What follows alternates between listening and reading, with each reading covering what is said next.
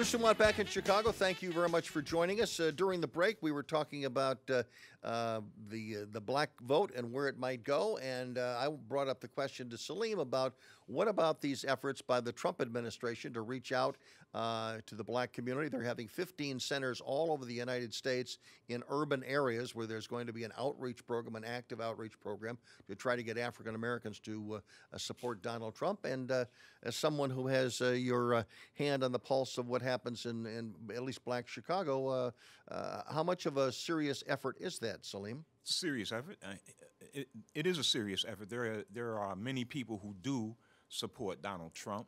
There has been support for Trump in the black community for, for a while. Uh, many people are attracted to his alpha dog persona, his braggadocio.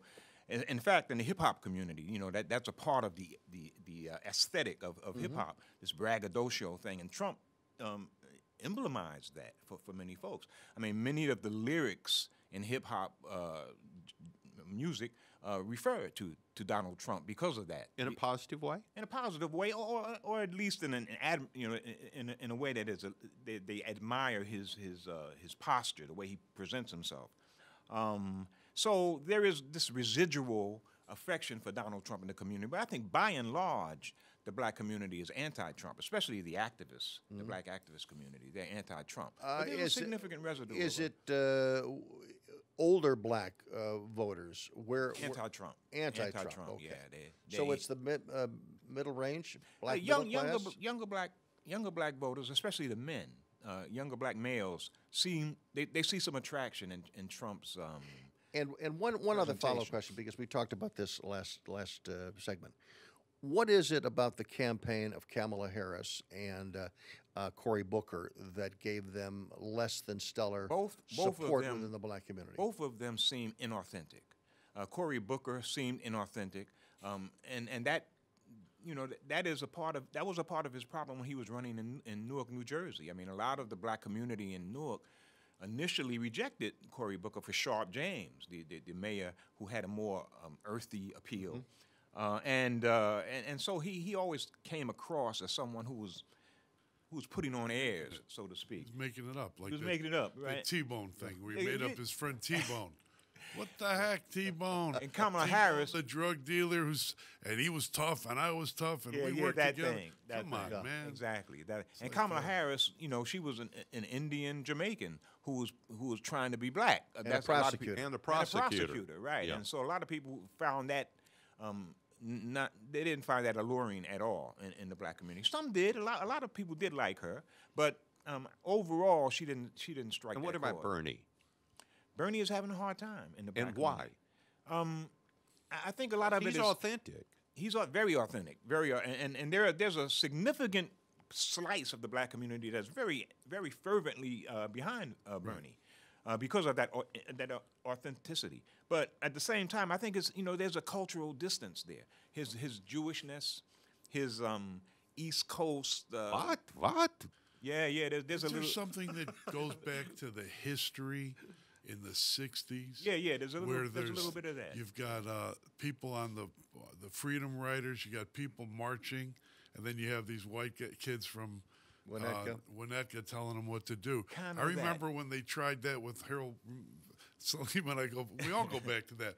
The white kids, the woke white kids, then Yeah. tried to tell Harold Washington what to do, and Bobby Starks and uh, Conrad, Conrad Worrill Worrill. and the Nationalists stepped in and blew that thing Right. up, and that dynamic still seems exactly. to be there. That, that's a part. Exact. That's the exact dynamic that I'm talking but about. I, I have to stick. Some of- some of those the Jewish Americans at that time also went down south and were registering people to Oh, man, vote Jew- and risked and, and a few of them lost not- their lives. Jews I'm have been the most. did no, the no, I know, I know. I'm just, I'm just saying advocates that, that you know they were- they weren't just ordering everyone around or something. No, you know, no, they- no, that- they- that's true. They, That is they, true. They marched and they But registered. there is people an, to vote. is antagonism there, Yeah. and Yeah, and, yeah. It, and it and it goes back, and I think it's that's a part of the the. Uh, the client. Uh, how come we never? h- How come we never hear about?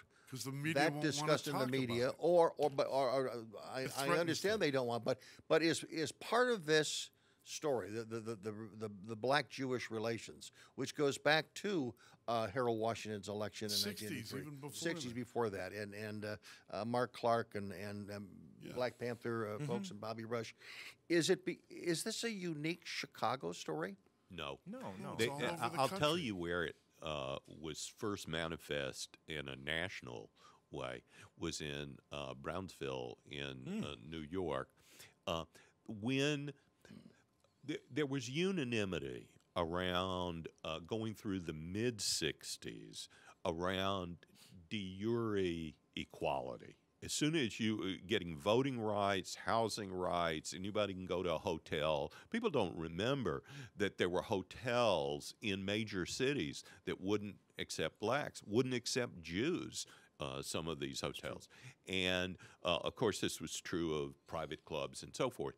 But when you move beyond that, you began to get divergence of interest, with some people saying, well, look, uh, we're a large portion of the city, but we're not. Uh, we we don't have enough uh, spots in the uh, among the teachers. We don't have enough spots in CCNY. We don't have, and all of this came. How much time did the- you spend in New York? Uh, Huh? How much time did you spend in New York?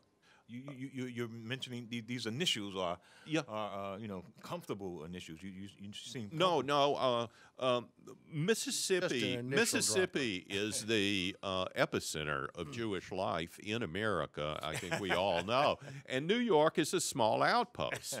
So naturally, I, I've gone there a little there, bit. Charles. But uh, but the fact is, I think what happens in uh, after you moved from legal equality is you begin to get interest group politics. Some people then who are white, Jewish, but they could be Episcopal, are going to say it's a social justice issue and we're going to make common cause. Others are going to say, look, uh, it's a merit-based issue, or you, you know, and Is it?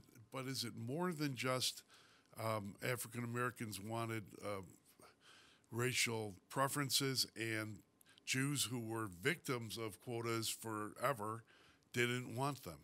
There's something else there. I don't know what it is yet, Well, but no, I'll write but- about it. Okay, Bruce, I'll figure it There, out. there may be Absolutely. there may be some tension there, but I think um, m- much of the, the theoretical assaults on, on the idea of, of uh, un, uh, this this inequality really was pioneered by Jewish intellectuals and whatnot. They were the ones who were who were forming the the uh, in, you know that that that and now the big now it's the- Asian but Americans. Also, is is is, Oh, is part of the is part of the appeal, uh, uh, Salim, the the appeal that Trump might have to some small section of of uh, black uh, voters that you talk with. Is it because of his strength uh, uh, about building the wall? I mean, how do blacks who you run into, Mm-hmm. how do they react to the on, on uh, influx of, uh, of Central Americans uh, through our southern border? Uh, that that's another uh, that's another issue that that um, attracts Trump to, to a lot of African Americans. they also are wary of this of this kind of open uh, immigration idea uh, because they, they feel that they suffer from that when and and then it's an old labor um, idea as well. It's an old labor position that if, if you if you make immigration unlimited, it lowers the currency of labor. Used to be Look at Bernie's position. Bernie used to be. used to have that. Bernie Back Sanders shortly from Chicago with more discussion.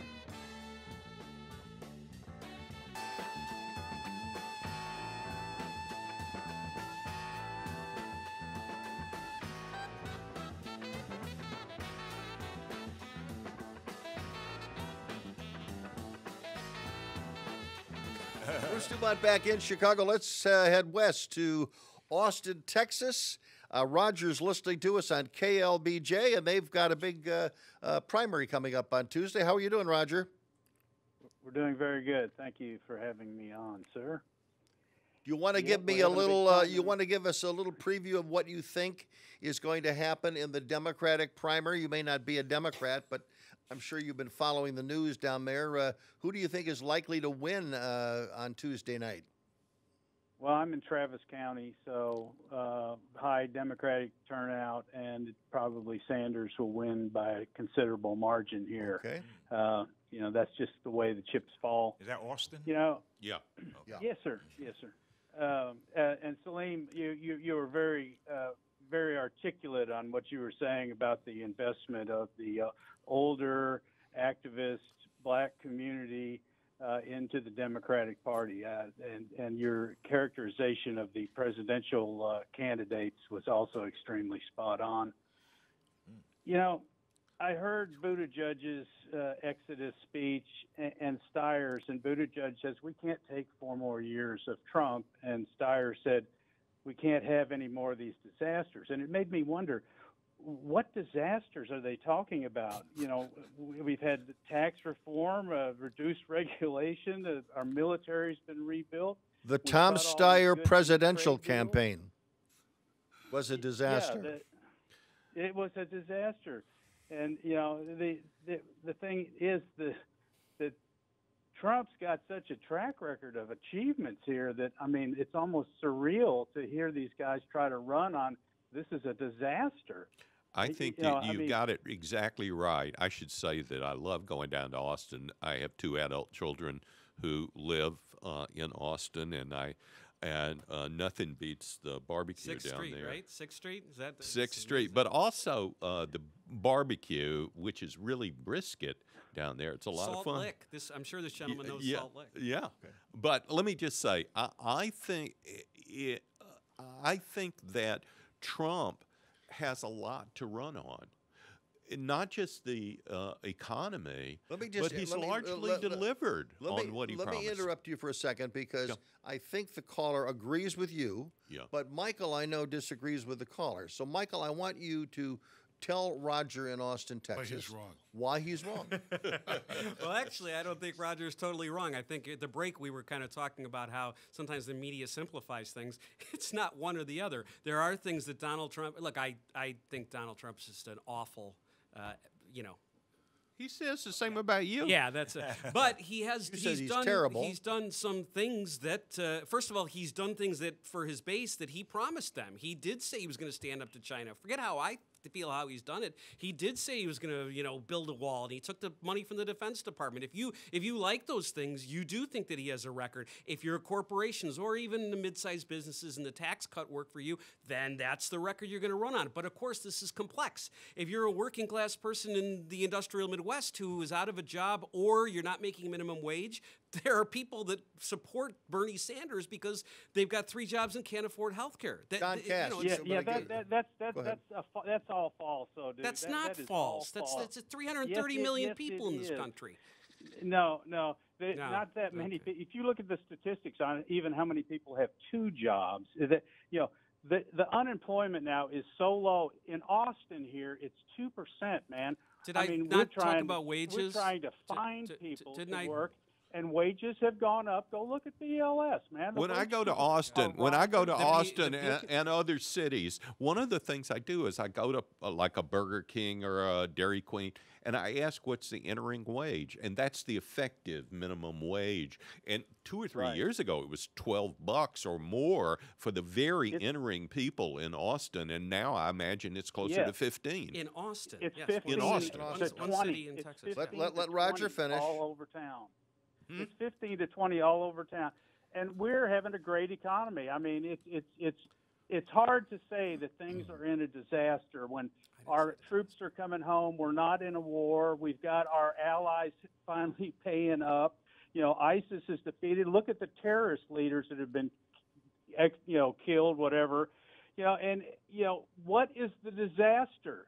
The Democrats have a real problem here Well- because you've got weak candidates Yeah. and you're running into a headwind. All right, John, John Roger- Kass has got a question for you. Roger, um, the U-Haul. If I'm going to take a U-Haul from California and come to Texas, it it costs me a lot of money. But if I'm, how does that work? Why aren't there more people leaving Texas for California? Why are all the Californians coming to Texas? Uh, Well, maybe maybe you could have uh, Bill Bergman up there come on, and he could probably explain why we have so many Illinois U-Hauls coming to town. It's California. You know, we're a conservative, low-tax state. Everybody is leaving the craziness and trying to come here. But when they get there, in- in it Roger, when they get there and when they get to North Carolina, when they get to Georgia, they're not, they're voting for many of the same policies Yes, yes, in the states they them. No, that's left. exactly Put up a wall. They're Don't let Illinois Defend Democrats into Right, Texas. yeah. They'll ruin your whole country. Roger, myself? go Can I again. defend myself? uh, Go ahead. Yeah. The, the, Michael I- is upset. I, am not upset. I understand what Roger's saying, and again, there. It, you, it depends on the lens you're looking at this through. If, if you're a Republican who really, really has never voted Democrat, you won't give credit to Barack Obama for eight years of certain economic factors that the same Bureau of Labor statistic you're citing went up and up and up. If you're a Democrat and the rule of law is important to you, there's a lot that Th- President th- Trump has history done. History is that, that- great, dude, but this is now and going forward. We're electing someone in the future future. Let's not Well, be talking about all the past. Let's talk about well, I'm not. today. That's You that's not that's not my point. You my point. Is, nothing. my point Well, your is point was you're going to take credit for things that Barack Obama did. No, th- yeah, He fun. That's care. funny, Bruce. Well, my, no, uh, my point is that there's, you know, if uh, 165 million Americans didn't vote for Donald Trump, I don't think all of them think that his track record will change their mind and that the country is wonderful under the. I mean, it's just not realistic. You know, you you can't you can't claim that a president has done everything right. Any president. Who was Well, I this hope- Barack I hope that- Obama who I was hope that president during the uh, Biden administration? well, that was also it was a horrible time because you you you may remember 150 millions were uh, million people Americans were killed with uh, with eased guns. the traffic. Matter of 10 It years. certainly eased the Joe. traffic. Ten years. But you know I- what, Bruce? And I don't gonna- notice any. I didn't notice any. You guys are difference on the- making fun of Joe freeway. Biden, but you don't make fun of the things Trump says. It's Bruce, fascinating. It's listen, fascinating. Fun of the Listen, things that Trump Michael. you do? Listen, you guys. This Yeah, is a th- uh, are campaign that's going to go through all 57 That's states. that's my point. All 57. If 57. you want to hear criticism of Trump, turn on CNN. Roger, Roger, the one thing that we really like is being the doing this show from Chicago. We like all the people in Austin, Texas, who listen to us every Sunday night on KLBJ. You're one of our oldest affiliates. We got lots of calls from Austin. Thank you very much for joining us tonight. We're now going to go to Cottonwood, California, where Dale is listening to us. Go ahead, Dale. Bruce, thank you for letting me get on. I have Good. three thoughts, okay? All right. The first thought is I sit out in my front yard with my sheep and lambs and listen to you on Sunday nights. Second of all, the president on Thursday had a round table with a bunch of black leaders, Candace Owens, Diamond and Silk, Silk, Diamond and all Silk. these other people, and did nothing but praise for this president. Oh, right. Thirdly, I want to say that the rallies that President Trump has, there are 17 to 26 percent of Democrats going to those rallies. Now, what do you think that means? It means that Michael is. Um, we need to call 911 right now because Michael's Michael. not doing well. Having a chest pain. No, no, if Diamond and Silk were there at the White House, then I'm, Salim, I'm sure that the a Yeah, whole African American population will flip and, and vote. Yeah, Diamond and Silk is they're, they're kind of a joke to, to most people in the black community. They're not a community. joke. That is Well, they- ridiculous. They're, they're a joke. They're a joke to most most people in the black community. I, I understand why you find them funny. I, I mean, why you find them uh, compelling, but they're, they're not compelling to, to most black folks. I'm What about Kanye for. West? What about Kanye West and his support of the president? Um, Really. You know, he, he's lost a lot of support as well, but he's also he's also increased the president's allure among a certain uh, group of black people. I folks. think that what the fact that we got to go through a number of different names represents something that's changed. There are more sort of prominent black people, including elected officials, Tim Scott and so forth, who can speak as black Republicans. Some are just you know entertainers or don't have any Not that particular many, weight. Charles. Not that many. They're not all that No, many, but it's it's more than it used to be, and I Very much more. Well, not not m- not much more than it than it was uh, during the time of Nixon, to these other for example. But you know, black in Nixon's around black here capitalism, finish. Trump. Now, how do you deny that? be cool, my man, be cool. I'm trying to be- I'm being S- you know, this is one of the things that people get so, and that's why people, you know, uh, uh, compare Bernie Bros to deplorables. It's the sim- a similar kind of Anger. emotionalism that gets gets. No, but what what Dale is saying is, in, uh, Dale is saying that there are African Americans who are part of this effort to support are. Some. President Trump. Some. And you are an African American leader. You are a mm. progressive. Not a leader. You may, but you may not like some of the people that support the president, but you can't deny that they don't exist. Oh, definitely. And I again, and again, some of these African American leaders, they use their power, they use their influence to whisper in Jared Kushner's ear to, to help lead to the Second Chance Act. And and I know you're going to say, "Oh, that started with Obama." No, I'm not. I'm Well, not what going are to you say gonna that. say? I, I, by the You way, give- I you- give you give the president give- credit yes, for that. Yes. See, Thank this is you. John and I were just talking about this outside in the break. That if you can't concede that that uh, a president uh, that you oppose has done some good things, then you just don't have any credibility. Exactly now, right. the First Step Exactly Act right. was a good thing. It was a first step. It was a small thing, but he got it passed, and he deserves credit. But but a, a- a staged event at the White House with some African American leaders that does not speak to uh, Not at you all. know statistically a larger. It doesn't make any sense. I mean, respectfully to Dale, yes, he, he had a little event and people shouted, About the "You're historically terrific." black universities that had a That's- meeting at the White House and then ended up with, with hundreds of millions of dollars. Does that count? Is that good or bad? Great, great. You think some of them might support Trump? I mean, it's good. It- it- Some. Gotta pause. How many? Back is shortly. Actually, reminds me of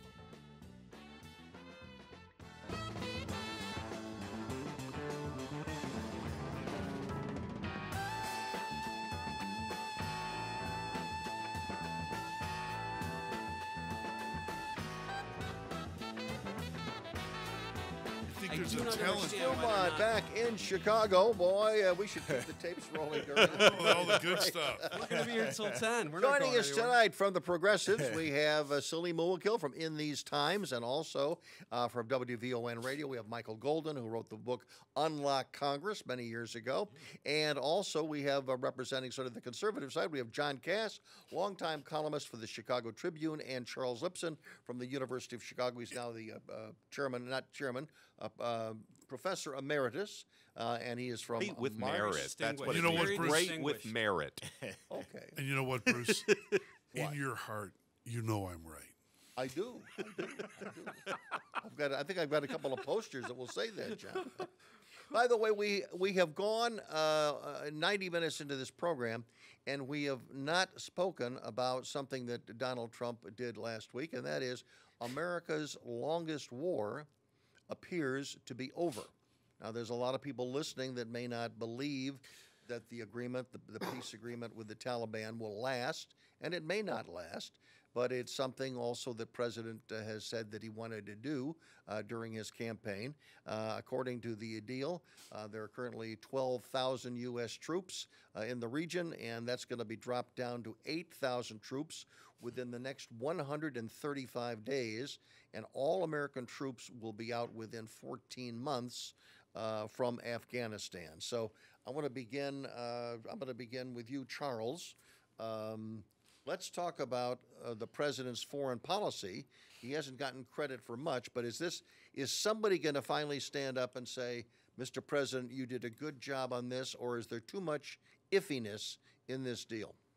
There's too much iffiness in this deal because we don't know whether the Taliban will execute what they promised, and we don't know whether they'll uh, distance themselves from Al Qaeda, which was the reason that we went in there in the first place.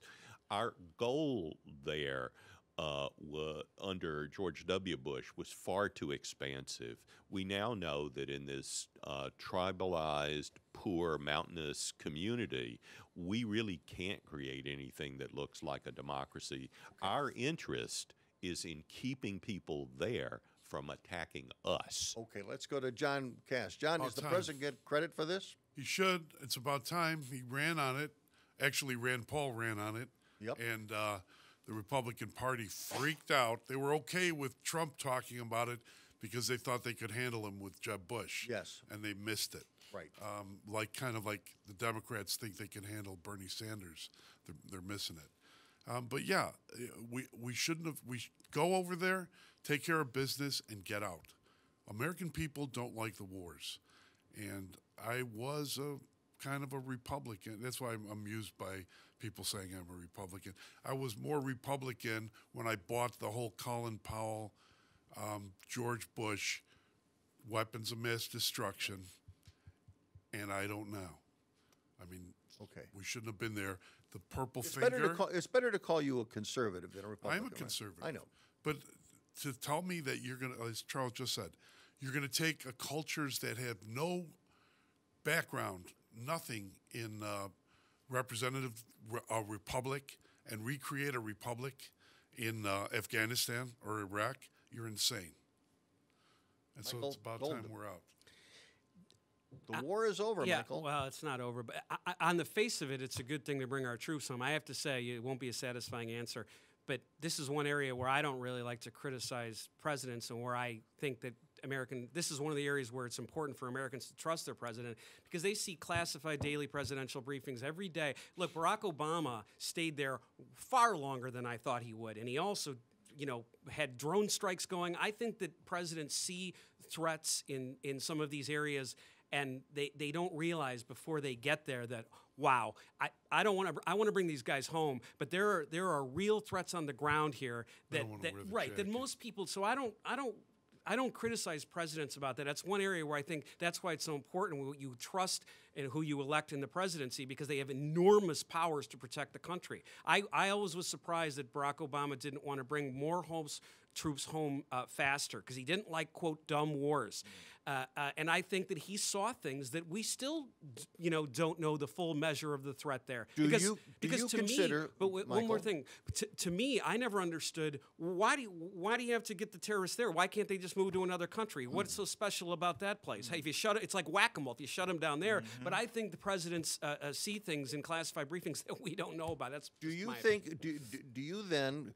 Could you sleep comfortably knowing that Bernie Sanders was the president of the United States? If he had access to all of this information, are you confident that he would act in a presidential way, not necessarily in the way that his rhetoric has been for 35 years? So that's a that's a fair question. And by the way, I'm not a, a Bernie Sanders supporter.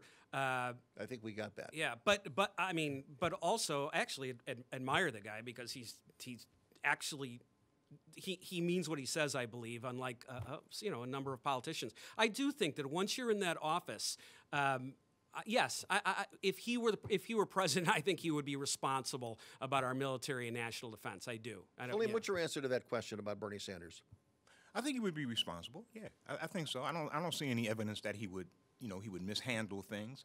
I think that our uh, our presence in Afghanistan was a mistake from the beginning. It should have been a police action, a, you know, policing action, essentially, rather than uh, you know devote our entire military to that effort, because it was simply, you know, uh, the Taliban were a nationalist effort to to keep Afghanistan free of this, in, in this incessant invasion phenomena that's been happening to them for so many years. But we should also know by now that candidates who are running for office, they never have as much information as the incumbent president. That's president. right. They make they say things, they may mean things, right. but when they get in, they really can't. I mean, there's a long list Get of things that captured. the, the long list of things that Barack Obama said that he wanted to do, like get rid of Gitmo on day one, Mm. that never happened because of political realities that he was the momentum, not institu- aware of. institutional momentum, and that's one of the things that Bernie Sanders um, s- promises to change. I think the that, prob- that is- you know that institutional momentum is hard to to, to, to fight. I think the problem that uh, Bernie Sanders would have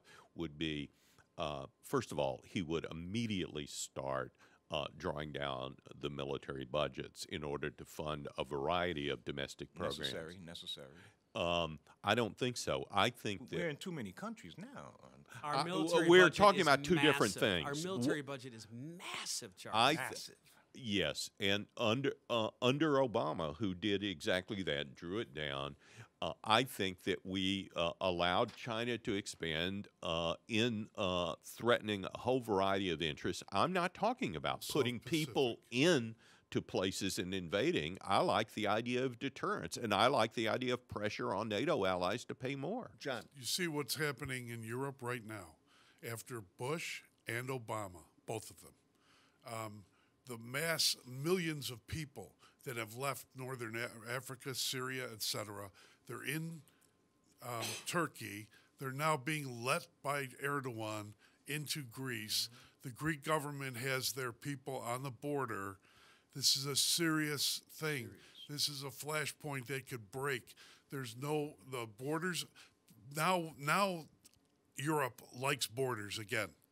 right? We don't like them here on the Democratic Party, but they do like them in Europe. So They're electing right-wing governments to enforce that. Like Right. that. Well, some you had places a Merkel let a million people in from Syria and uh, the Middle East, and now it's a really serious problem. And one of the reasons it's uh, there are two big reasons. One is that um, there are. Uh, illiberal attitudes, a variety of illiberal attitudes. And the other thing is that these countries have large welfare states, so that if people are not employed, they receive large payments. And the, the welfare state and open borders are simply incompatible. Well, raise your hand. if you Imperialism want- coming home to Raise your roost. I hand, mean, you know, Democratic chickens coming home to candidates, if you think that people should get free health care if they come across the border illegally. Remember that? Yeah, everybody's hand went up. Everybody's hand went up. Michael, is that a is that a piece of video that you'd like to destroy? It will be out there. I think that I think one of the things that was Elizabeth Warren, a couple of them who said all border crossings should be decriminalized. I Right. think that was a huge political nuts. mistake when she It's when nuts. they so did that. did Bernie Sanders. Well, I, Bernie Sanders wants and, all and if he's the nominee, a lot of criminals. this is what a general election. I this think is Joe Biden did it like this, like and Right. then- and then Well, said that he was the didn't most he remember could it. do. Raise it halfway. Yeah. What I- was I, that? I think that I, I don't think any of them would, in, in the wake of uh, c- coronavirus, I don't, I don't think any of them would raise their hands uh, today. yeah, but the Republicans already have the video. Yeah, so- I know, I know, I know. I know, I know. And they have video of Chuck Schumer and the others saying Coming- uh, it's xenophobic to stop Coming- all these flights back- from Yeah, China. Yeah, Coming that's back true, to the, the, the, the coronavirus, for those that are just joining us now, we briefly talked about it earlier in the broadcast. But um, what should what should the Democrats? I'm going to ask the Democrats. What should they be doing to challenge the president without making it sound like they're picking on him just because he is the Republican? Uh, see, that's that's a really fair question, and I don't. I think that some of the Democrats uh, have been been have made mistakes going as being so aggressive. Even even though I, when I watch Donald Trump in that press conference, uh, I can't believe some of the things he says. But if you're a Democratic leader, when it comes to a- an issue this serious, you're a- you're elected leader, especially the party leadership. It's better to take the high road. It's it's sometimes it's hard to do with him, but it's better to take the high road. You can s- just say there, look, there's a few things that I don't think the president should be But doing, but we all got to close ranks. This is about Biden- li- this is about life and death, and and you know, it, I think it's been politicized both sides. Did but if you're asking about the Michael, Democrats, did I Biden think they've take the gone high too road? far. I think no, that, no, that- I, Did I think he Bloomberg said take it. the high road? Uh, no, uh, no. did- We'll see. We'll see what them. Bloomberg says tonight. Yeah, he's more measured when he when it, tonight he'll be more measured. But I think that they should, uh, the the right policy for the Democrats, uh, just strategically, is to hold off for three or four weeks.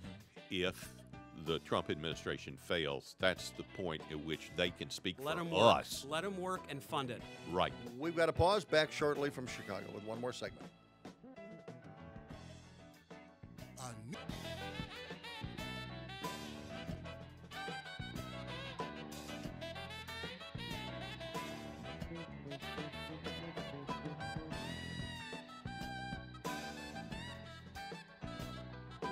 What do you see in Tulsi? Bruce? DuMont back in Chicago. Uh, one thing we have not talked about, we've talked about uh, the the coronavirus and its effect on public safety. We haven't talked about its effect on, on the stock market. Uh, it would seem to me that uh, that's the biggest fear that the president has. He doesn't say that, but I think the biggest fear he has is that the stock market continues to tumble. They were down 12% uh, last uh, week and sent everybody uh, to their uh, heart doctor to ch- check it out. Um, what do you think, Charles? I Is he going to get blamed for all this? Um, I think that with the coronavirus having uh, a global economic impact, a lot of big firms who have supply, uh, who sell abroad, and who have supply chains that go through foreign plants are looking at decreased earnings. Some of them quite substantially decreased. The, f- the stock market is a forecasting mechanism, anticipating what earnings and earnings growth will be. So I think what it's saying is it is flashing some warning lights that we hadn't seen in a long time for what could happen to the economy if this really becomes a serious pandemic. Will this prompt a discussion that more and more companies should bring some of their production Absolutely. back to Chicago? Michael? Absolutely. I Is don't. that the answer I here? don't. I don't know the answer to that question. But to, to your question about will Trump get saddled? Will he get blamed? The, absolutely, he will. Presidents get more of the blame when the economy goes down than they deserve, and the same thing the opposite way. And uh, and Is the and media he- doing a? Is the is the media now? Let, us talk about the media for the time remaining. Is the media doing a good job of reporting the facts in this coronavirus, or are they doing? Are they going out of their way to raise fear? John, I think that uh, in general, people are, are in my, our profession are trying to uh, report the news. Are there are there unscrupulous actors uh, at the New York Times and the um, Washington Post? They would talk about dropping, uh, all, you know, don't be don't be neutral. This is the Trump virus, and people are pushing it. And sometimes you see it online, uh, a little dig like Trump says it's all a hoax, John, which is not a hoax. You realize the columnists at the Wall Street Journal and, and, and Washington Examiner that they write columns about Democrats that way. The, the, the opinion people. It goes both. You you know you're a, co- it goes Are both you ways. actually telling I me think about the- what, what an opinion column is? Well, I'm, I'm Thank saying you. you. uh, you're saying just the Washington Post and New York Times. Do No, I'm that? just bringing up the fact that I think that there's the that throughout the media, it's since he was elected, there's an antipathy towards Donald Trump. It's established by study after study after study. And the conservatives felt that way about the I Democratic think- president. I But think on the didn't- But media, when the Not the media, media. d- Michael, when when the when the media focuses on the fact that the vice president is now in charge of this, Mm-hmm. and they give you two or three days of that, and and they say things, they repeat things that have been said. You know that that Fauci was was muzzled. He was on television yesterday saying he was not muzzled. He was asked the question my- three my- times. my quarrel- And so, and so my question is, uh, you have Azar, who I said earlier in the program, I think is one of the best public spokesmen that I've ever seen of any administration. The guy's really good. He was on all the shows today. When you have the, the government performing, I think, in, in very positive ways, what what difference does it make if f- 10 or 15 years ago uh, Pence did something that uh, that the media didn't like? Okay, f- first of all, you had me for a while there. But but if you're the vice president of the United States and you've been delegated that authority and you were a governor and you did something that had anything to do with public health that was of consequence, that's fair game when you're vice president. It just is. I agree with you that, and I and with John that some people in the media see the problem is- is with the question. All due respect to say the media. The media is millions of writers and television journalists, and you can't paint them all with one want brush. To. TV uh, with Bruce as an exception, mostly broadcast. I don't want. I'll I'll call them media, like TV guys. CNN, Some of them. CNN, Some of them, MSNBC, all that ridiculous. Not all of them. And then I'll talk about print.